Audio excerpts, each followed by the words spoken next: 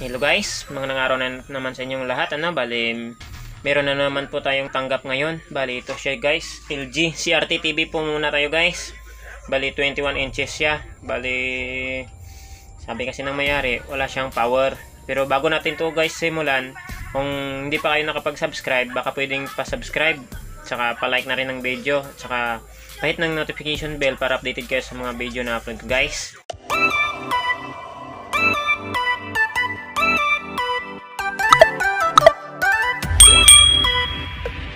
Ito siya guys. Yung CRT TV natin. Pa-plug in ko lang para makita. Bali, nakabukas na yan guys ha. Binuksan ko na. Tapos yung switch, ginampuran ko muna.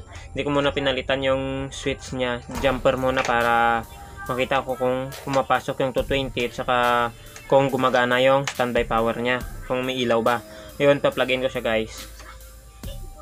Ayan po, bali naka-plug in na po yan pero wala tayong makikita na standby power. Bali dito. Walang red na standby power. So bali ano po yung laman niya guys ng Samsung CRT TV natin, 21 inches. Bali ito yung model number. Ito siya oh. Ayan siya bali. Mukhang 21S A 1 RL-L4 L4 bali yan yung model number niya guys. Bali 21 inches siya. Bali yan yung laman. Eh, yung ito ito nandito siya. Yung AC niya. Doon yan papunta. Nandun yung switch. Bali naka jumper na yung switch niya. Saka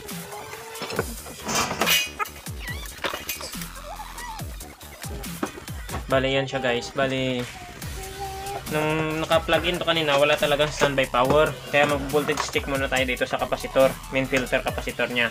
Meron siyang 300. Tapos, doon tayo mag diretso sa secondary supply niya. Check natin kung merong supply sa secondary.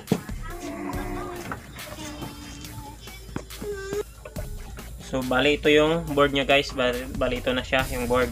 Bali, nakakonect na rin yung plug. Ito yung no nakatapos nakadirect na rin yung switch doon. Tapos papunta siya dito. Uh, dito muna tayo mag-voltage check ngayon sa main filter capacitor. Ito siya. Uh, ipa-plug in ko na lang siya. Yun naka-plug in na. Tapos lagay natin yung tester dito. Tapos dito sa kabila. So meron siyang 298 volts. So okay naman yung yung primary natin. Ngayon, dito tayo sa secondary. Yung ba, tap, pero kahit naka-plug in na yan guys, wala, walang light o walang indicator light ng standby. Standby indicator light. Bali, dito tayo sa B+. Ito yung B+ nito. Bali, saan ba? Ito, yung B+. Meron siyang 139 volts. Yun, meron pala siyang 139 volts. Tapos, dito sa kabila, ito, meron siyang 9.9 9.8 volts. Ayan. Kita ba yung tester natin? Guys. Ayan, 9.8. Bali, wala siyang standby power bali meron siyang pop transistor dito na maliit bali KIA 7805 78L05 yung number nito. Bali meron siyang in na 8.2 volts. Tapos ang out try natin kung meron siyang out. So ayun guys. Walang out na 5 volts. Ito ito siya. Maliit to guys na 78005. Bali 5 volts na regulator. May in. Meron siyang in. Meron siyang 8.2 volts. Tapos wala siyang out. Bali yung nakalagay 134 millivolts. Bali wala pong 5 volts guys. Bali papalitan. Tatanggalin ko muna to. Tapos maghanap ako ng pamalit na medyo malaki. Guys, post ko muna. Tatanggalin ko lang. Bali ito na siya guys na natanggal ko na yung hinang, bali yung likod nito, ganito. Kasi yung supply nito pala, LG nito, yung ito siya. Bali, ano ko na lang. Bali itong isa, bali meron siyang fusible resistor papunta dito, tapos diode, ito yung B+, tapos yung kasunod is ground. Ground siya guys ng B+, tapos ito, ito yung 9.8 na volts kanina, ay 9, oh, 9.8 volts kanina na supply. Nare-reading natin. Ito yung fusible resistor, tapos meron siyang diode dito. Na, dito 9.8 volts yung nasukat natin kanina. Tapos 9.8 volts papunta yan dito, merong resistor. Ayan. Tapos papunta sa in ng ng 7805 natin. Bali, yan lang po yung supply niya guys. Bali, B+, ground, na, uh, ito yung 9.8 volts, tapos ground ulit. Tapos ito naman yung, so, yung, wala siyang connection guys, wala palang connection to. Tapos itong isa, positive supply, ito yung negative ng, bali ito ay supply na ng ano to, ng, kung susundan natin yan, meron siyang diode dito, yung transistor type na diode, papakita ko na lang mamaya. Bali ito yung dalawang to, ground at saka yung supply, positive supply ng audio amplifier ng TV. Bali ito yung um, yung nagsusupply sa audio niya. Tapos itong dalawa B+ at saka 9.8 lang. Bali wala nang ibang supply, bali dalawa lang yung supply ng TV natin. Bali tatlo lang pati kasama yung audio amplifier niya yung supply ng audio amplifier. Bali, dito kagad kanina, parang na ano ko, nung pagbukas ko, sabi ko baka ito yung problema. Kaya kaya nung nag-test ako, dito kagad yung pinunteriya ko. Kasi baka dito yung may problema. Kaya nung nag-test ako, nakita nyo wala namang supply sa out, pero meron siyang in.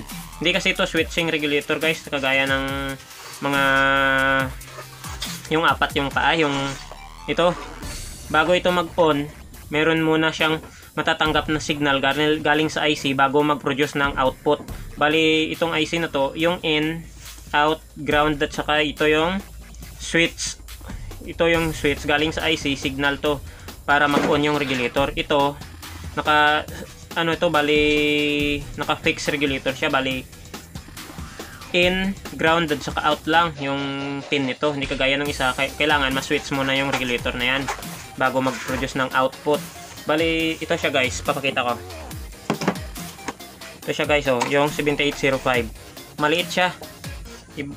Baliktad siya guys. Ayan, oh. Kita ba sa camera? Makikita ba? Hindi. Medyo, hindi kasi, hindi kasi masyadong maliwanag dito. Hindi pa naka-on yung flash ng camera natin. pero 7805 to guys. Yung number. Pero ibang klase maliit siya tapos yung pin nito hindi kagaya sa isang 7805 na yung kunyari yung pin dito pin 1 2 3 bali yung pin dito yung in ground saka out pero dito guys napapansin nyo kanina baliktad siya oh dito yung in nakaganon siya eh bali baliktad siya yun lang dito yung in ba, dito yung in, ground pa rin sa gitna, pero yung out dito sa kabila. Unlike sa ibang regulator na medyo malaki, yung in dito sa 1, tapos yung out sa 3. Ito naman yung in sa 3, tapos yung out sa 1, baliktad. Kaya guys, maghanap ako ng 7805, pero yung, hindi, wala akong mga regulator na ganito. Yung ganito kalaki na na KIA 7805 na regulator. Bali maghanap lang ako. Bali, ito yung papalit natin. Yung regulator din. Ito siya. Ayan yung number. 78M05 bali yan yung number nya guys. Bali yung pagkakaiba lang nito guys. Ayan. Bali yan siya. Yung in dito sa malaki yung in dito sa 1 ground yung 2 out yung 3 dito naman sa kabila yung in yung 1 pala yung pin number 1 ito yung out ground saka in yung sa kabila kaya kung magkakabit tayo dito yung ito yung kakabit natin bali babalik ta rin lang natin ganyan siya pagkabit kung nakaharap siya kanina bali ngayon ganito tapos lalagyan natin siya ng heatsink para hindi siya masyadong uminit. Na guys. So bali ayan na siya guys. Bali nakabit na natin yung yung regulator natin. Ito, hindi ko na lang din nilagyan siya ng heatsink kasi mas maliit nga yung kanina eh. Eh bali susubukan ko muna kung iinit ba talaga o hindi. Pag okay naman yung init niya, ibig sabihin normal lang siya.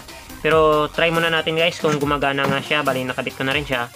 Bali pa-plug in ko lang siya ulit. Ayun.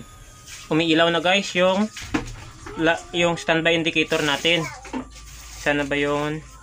Bali ito kanina, ito yung in. Ito yung tester natin oh. Ito yun kanina guys. Bali Ito yung in niya, bali 9.7.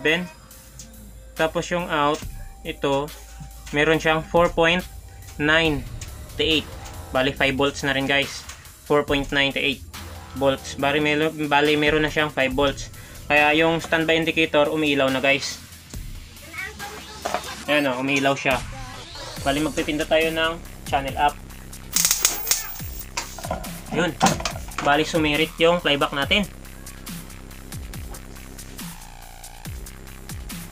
So, baka may problema pa yung wire ng playback. Try ko ulit i-plug in para makita natin kung sisirit ba ulit.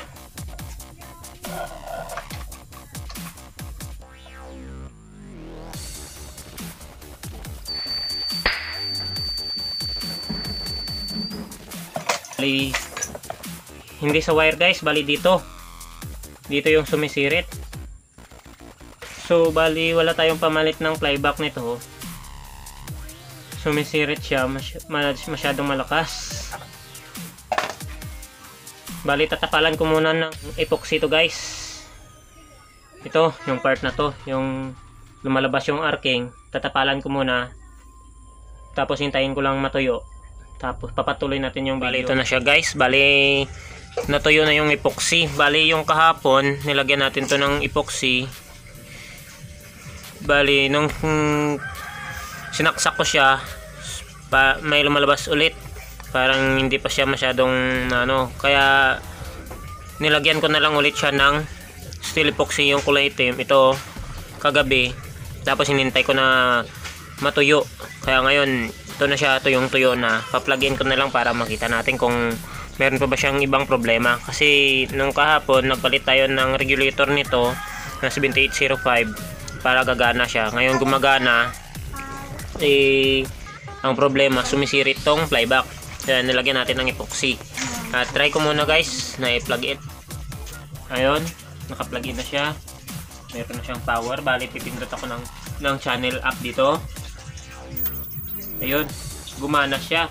Narinig ko na yung high voltage guys, pero namatay din kaagad. Big sabihin, may problema pa to. Nagpo-protect siya guys. So, nag-aabang tayo ng bolt ng tester dito.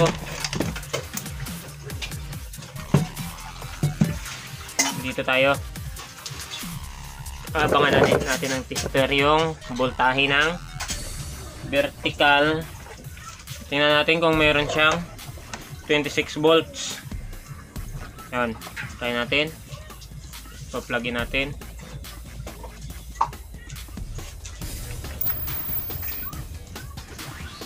Ayun. Meron namang supply na pumapasok guys. Kaso na mamatay din kaagad. Gagamit tayo ngayon ng ano, ng ito, analog. Tapos i-reading natin kung meron merong supply yung vertical tapos try natin kung merong merong output papunta sa yoke. Dito tayo. Lalagay natin yung tester dito yung pointer ng tester. Ayan o oh. tapos yung tester natin dito na lang natin ilalagay.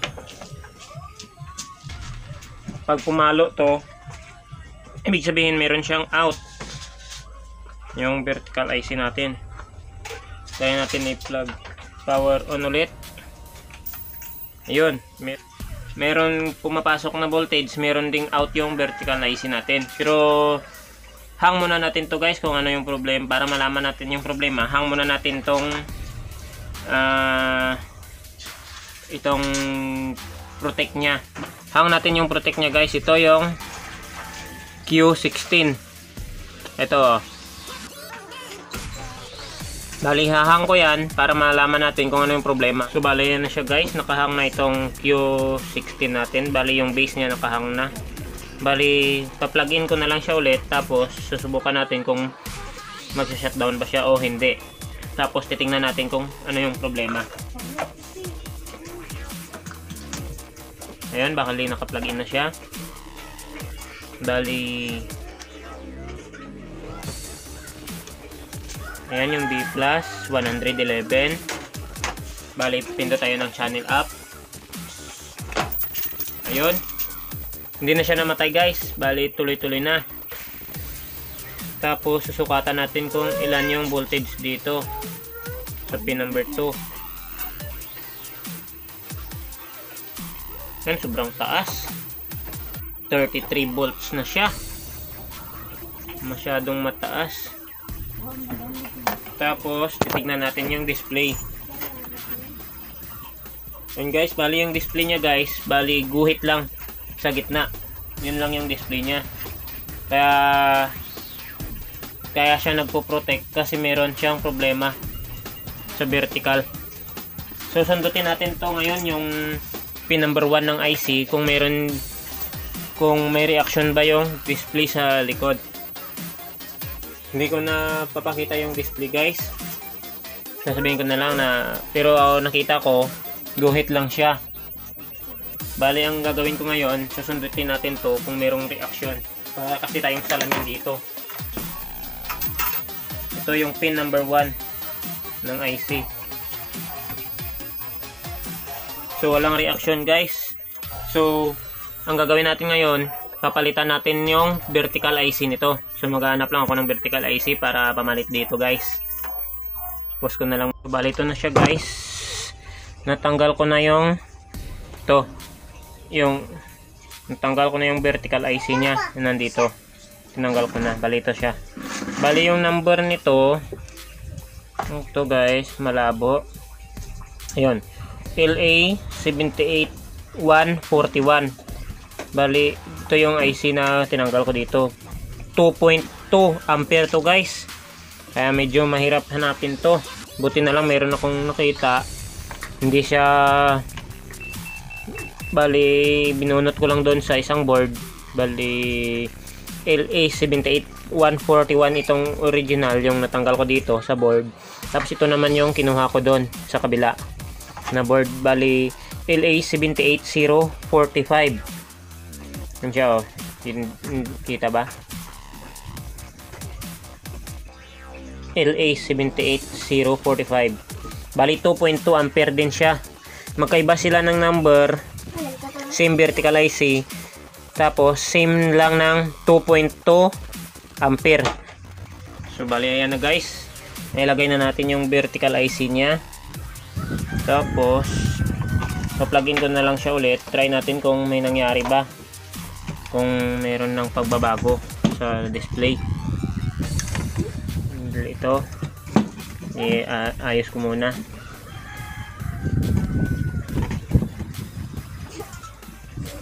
Bali yan. Plug in ko na lang siya.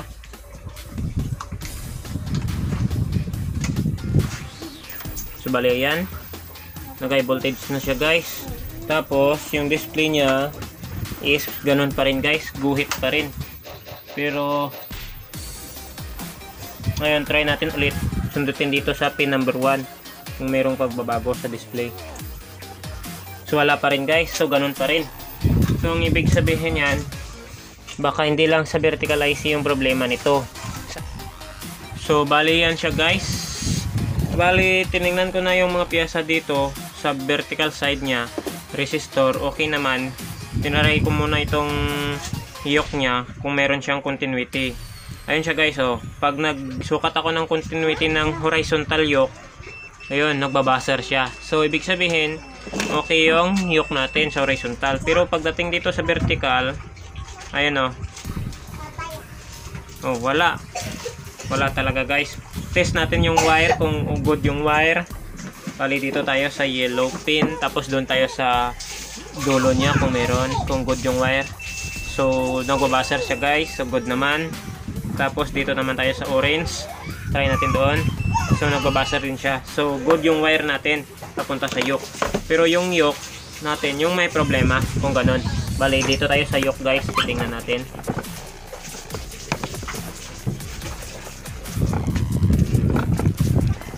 Ayan o. Bali dito, ito yung vertical yoke niya. So, yun o. Walang buzzer. Wala talaga guys. Walang continuity guys. Dito tayo, try natin dito sa analog tester natin. Times 10 na natin para mas ano, mas kay kahit times 1 lang gagana yan eh. Times 10 na to guys ha. Kung papalo yung tester. Ayan guys oh. Walang palo. Hindi pumapalo yung tester natin. Oh. Kita ba? Hindi. Ayan oh. Ayan yung pointer. O yun oh, hindi gumagalaw oh. Wala. Kaya kahit nagpalit na tayo ng vertical IC, walang nangyari. Iyon pala yung yoke niya. Kaya pala kanina nung nag-try ako na mag na maglagay ng tester sa output ng vertical natin, yung papuntang yoke, tumataas lumalagpas ng 10 volts. Iyon pala open na yung yoke, hindi ko kagad yun na na ano, na, ta, na pagtanto. Kaya tatanggalin muna natin tong yoke niya, guys. So, bali ito na yung yoke niya guys. Bali, natanggal ko na. Kung napapansin nyo pala, ayan o. Oh. oh, ito. May nakadugtong na. Ayan, bali, putol na siya.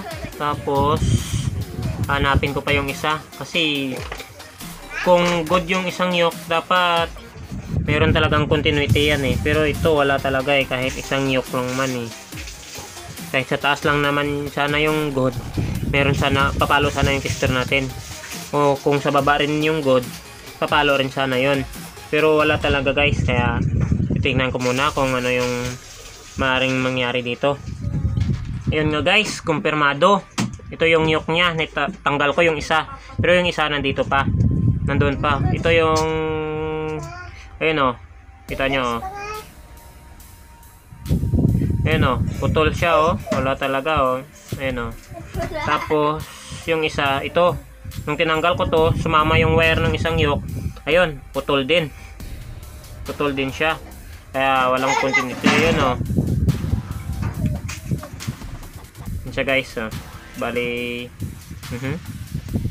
sobrang ano na. Bali dudugtong ko lang to guys. Tapos lagyan natin siya ng no para hindi siya ano corroded na masyado. Ayun oh. Ito yung kadugtong niya. Oh Kala ko regulator lang yung problema. Eh yun pala, ito pa yung salarin, yung yoke niya. Kaya ayusin ko lang muna tong isa tapos pati yung isa mamaya bali ano ko rin to bali tatanggalin ko tapos dudugtungan ko ulit so guys dudugtong ko lang to tapos papakita ko na lang mamaya sa inyo so bali bali ayan na siya guys. Bali nadugtungan ko na siya. Ito yung yok niya yung naputol kanina dinugtong ko na. Nilagyan ko muna ng masking tape doon sa baba para hindi siya kung baka mayroong open na ano dyan di, hindi siya mag short tapos lagyan natin ng pandikit. O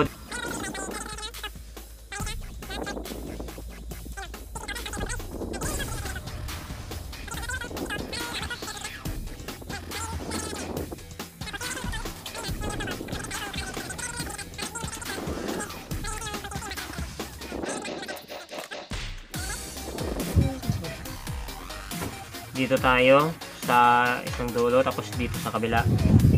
Ayun o, oh, meron na siyang continuity guys. So oh, nagbabasar yung tester natin oh. 17 ohms 18 ohms. Pag pinagsama na yung dalawa bababa na yan. Bali yun lang guys. Tapos dito lalagyan natin ulit ng masking tape. So bali ayan na siya guys. Bali lalagay ko na lang to ulit dito babalik ko na lang tong yoke na to tapos yung isa na naman yung ayusin natin hindi ko muna tinanggal yung kanina yung isa kasi baka malito ako mamaya ito tatanggalin na naman natin to para makita natin kung ano yung naging problema dito. Pero yung kanina, yung wire na sumama dito, yun lang yung nakakita ko na ano, ayun oh. To. Baka ito yon yung pinagdugtungan niya. Ayun oh, may line pa oh, dito siya napunta. Oh, dito yan oh. Ayan oh, putol. Putol itong isa tapos meron pang isa dito. Ayan oh. Mhm. Kita nyo ba? Linisan ko na lang. Ayan oh. Ayan guys. Ayan oh. Ito, ito yung papunta doon. Ito yung dulo. Tapos ito naman yung isa yung putol din oh. Ayan oh. Hmm. Talagang ano na guys, naputol na talaga yung yoke natin. Oh. So, ibig sabihin lang yan, yung vertical IC niya kanina is good. Kaya pala kahit kahit na anong sundot natin sa pin number 1 ng IC, walang reaction, i-yoke na pala yung problema. So, bali ito guys, dudugtong natin ito, tsaka ito, ganun din yung gagawin natin doon sa kabila. So, bali ito na siya guys, bali nabalik ko na yung yoke niya. Ito yung kanina, yung nandun sa loob, yung isa lang yung putol. Tapos ito naman yung isa, ito yung good. Tapos ito yung dulo niya, yung dulo ng yoke. Bali, may putol sa, ito yung sinudugtong natin, do- doon sa loob din to nang galing, bali putol din to. Pero, yung putol doon, bali dalawa. Kaya ito yung karugtong nung naputol doon sa loob. Ito. Bali, ganun din yung ginawa natin sa kabila kanina. Tapos, try natin guys kung meron na siyang continuity. Itong isa yung bago, yung binalik natin. Bali, meron na siyang continuity guys. Ayan o. Ito yung dulo niya. Tapos yung kabila, ito rin. Ito yung kabila niya.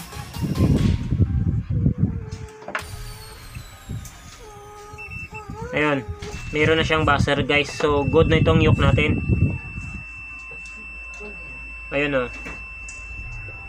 17 ohms din guys. So, parehas din sa kabila. So, bali, kakabit na natin to guys. Babalik na natin. Lahat ng mga nakadugtong dito, babalik na natin guys. Saka, kakabit ko na lang dito. Try natin kung gagana na yung TV natin. So, yan na guys. Babalik ko na lang muna to. So, balik siya guys. Nabalik na natin yung yung yoke niya. Naayos na natin. Tapos try natin yun yung continuity i-test ulit kung meron siyang buzzer. Tapos yun, nag-buzzer na siya. Oh, yun. Mababa. Meron siyang! 10 ohms. Yun na guys, 10 ohms yung na-reading natin dito. So bali, ngayon, tatry na lang natin ulit. Subukan natin ulit guys. So bali, yan na siya guys. Bali na ay ayos na natin. So, pa-plug in na lang natin ulit siya kung okay na. Gagana na ba siya o hindi. So yan. Yan, nag-oscillate na siya kagad. Titingnan natin yung display kung magiging okay.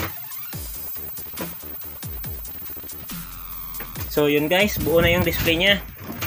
Buo na. Ayan o. Ayan. Buo na yung display natin.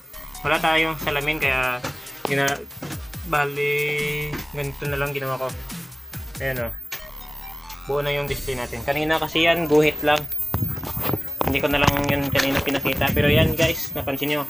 Okay naman, buoy naman yung display niya. So, yung gagawin natin dito guys sa ngayon kasi okay naman siya yung vertical IC na binalik natin bali yung pinalit natin kanina bali tatanggalin ko babalik ko yung original o pwede rin na yan na lang yung magiging vertical IC nya kasi same lang naman sila ng current ah bali yung current niyan is 2.2 ampere so bali same lang naman sila ng current yung number niya is magkaiba lang yung 78141 2 ampere yon na vertical IC yung current nun. Tapos itong 78045, 2.1 ampere din yun guys. So bali ito, same lang sila ng 2.2 ampere. So yan guys, gumagana na yung TV natin. Yun lang yung problema, yung yung 7805 na regulator, yung maliit, pinalitan natin ng malaki. Tapos yung akala natin kanina na vertical, mm, kaya pala pumapalo siya ng 10 volts AC, yung lumalabas sa output ng vertical, eh, open pala yung yoke natin. Kaya yun, inayos na natin yung yoke niya at saka gumagana na yung TV natin guys. So, and guys, sasarado ko na lang muna yung TV. So, bali yan na siya guys. Bali, gumagana na siya. Yan na siya oh. Bali, ang ganda naman ng picture. Meron siyang green dyan. Pero kasi merong speaker dyan sa baba. Yung Bluetooth speaker. Yung bilog. Yung malaki. Kaya ganyan siya. Bali, tatanggalin natin yan kung pagbalik natin mamaya. Ka, at kapag meron, meron naman tayong Yoshong coil na DIY na ginawa ko para pantanggal dyan guys. So, bali, yan na siya guys. Okay na. Maganda na rin yung display. Tsaka, okay na to. Babalik na lang natin siya guys. Natakpan na natin to. Bali, babalik na lang natin to. So, ayan. Bali, okay na. LG. Yan siya guys. Oh. Ang ganda pa ng base nito guys. Oh, bali. Oh, ayan. Ganda pa guys. So, bali, hanggang dito na lang tayo guys. So, sa mga hindi pa nakapag-subscribe, baka pwedeng pa-subscribe, pa-like ng video, at saka hit ng notification bell para updated kayo guys sa mga bagong video na upload natin guys. So, bali, hanggang dito na lang guys. Maraming maraming salamat sa inyong walang sawang pagsuporta sa channel natin.